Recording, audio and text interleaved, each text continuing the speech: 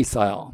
음, 잠깐 좀 이제 특강 좀 소개 좀 하면 우리 그 추석 때 추석 연휴인데 바쁘신 분은 열심히 제사도 지내고 뭐 갔다 올 수밖에 없는 상황도 있겠지만 이제 9월 20일과 20일과 21일 날 이틀에 걸쳐서 학교는 특강이 좀 있는데 특강 잠깐 소개하자면 자 20일 날은 스피드 핵심 체크라고 해서 간단히 전범위에 대한 전범위 말 문제를 해석하기 위해서 간단하게 어, 학원에 오면 얘를 이렇게 줄 거예요. 여기 암기 코드가 있고 뒤에 핵심 체크가 있어요.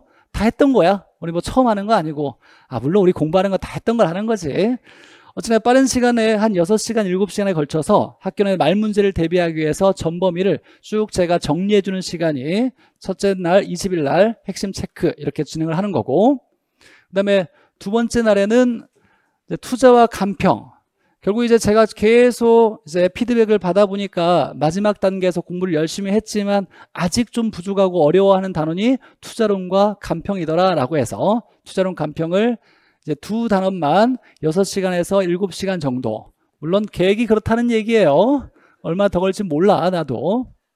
그래서 투자 간평을 이 두 분의 이 두 단원만 집중적으로 공부를 할 건데 자 이론 정리하고 간단히 이 전날에 했던 이론 정리를 다시 한번 간단히 정리해주고 이 테마에 관련된 지문을 가장 중요한 지문들을 다시 정리해주고 최근 4년 5년 동안 나왔던 투자론과 간평 문제 기출 문제를 해석해주고 이제 만약에 이게 어 7시간 정도 된다면 한 두세 시간 이론 정리하고 투자론의 계산 문제 최근에 나왔던 4, 5년간 나왔던 계산 문제를 다시 풀어줄 거고 간평도 마찬가지로 이론 정리하고 지문 정리하고 기출문제 풀고 마지막에 이 감정평가에 나왔던 계산 문제까지 풀어줘서 두 문제를 풀어주는 거 이 두 단어를 풀어주는 게 이제 그 두 번째예요.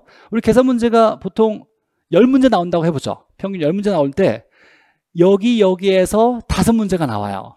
즉 여기에서 보통 세 문제 정도가 나오고 여기에서 보통 두 문제가 나오는 거예요. 물론 뭐 둘 셋 나올 수도 있고 셋 셋 나올 수도 있는데 기본적으로 열 문제 중에 여기에서 계산 문제가 많이 나오다 보니까 사실 이론을 알면 계산 문제도 많이 어렵진 않아요. 그래서 추석 때 혼자 공부하기 어렵고 집에서 공부 잘 안 될 때 학원 나와서 같이 선생님이랑 정리해야 되겠다라고 생각하시는 분들은 이때 오셔가지고 하면 되고 어, 뭐 수강료야 뭐. 그렇대요.